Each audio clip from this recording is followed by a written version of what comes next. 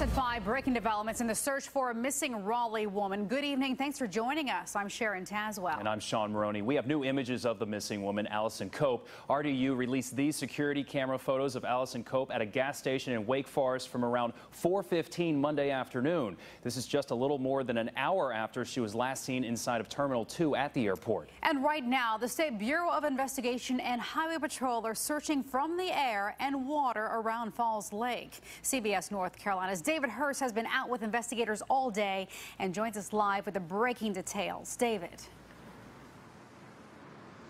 Yeah, Sharon, tonight the search for 24-year-old Allison Cope is centered around the Falls Lake area here in northern Wake County. As for family and friends, it's a search that's leaving no stone unturned. The search for Allison Cope has ramped up as authorities look from the air and water on Falls Lake. They say they're focusing on this area because of how close it is to her last known location. The 24-year-old was last seen at a Shell gas station in Wake Forest at 4.15 on Monday afternoon.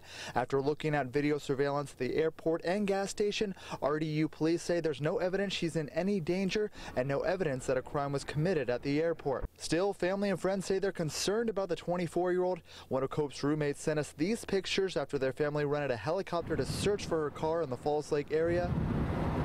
They say they're looking for a 2014 silver Ford Fusion. It has a North Carolina license plate and a change of heart pit bull rescue sticker on the back of the window.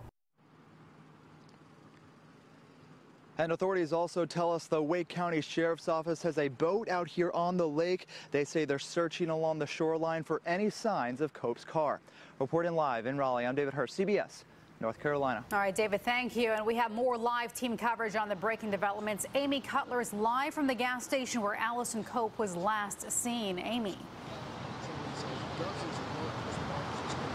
Sharon, this is information that we have been looking into for the last couple of days. RDU police confirming now that Cope was at this gas station, that she used pump 7 right over there, and that she was caught on that surveillance camera. Now, take a look at these stills RDU police sent us. They're from surveillance video that was taken at the Shell gas station on Durham Road in Wake Forest. It shows Cope going into the store around 4.15 Monday afternoon. That was about an hour after she left the airport. RDU police say there's no evidence that she was in any kind of danger. They also tell us they found no evidence of any crime being committed at the airport.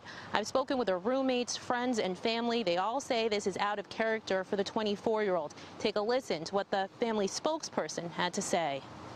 The Cope family has been in communication with the law, all the law enforcement agencies involved, um, and so are aware, you know, of what is going on and of the pictures and everything. According to my gut feelings, I feel, you know, this is not like Allison um, to do something to just take off.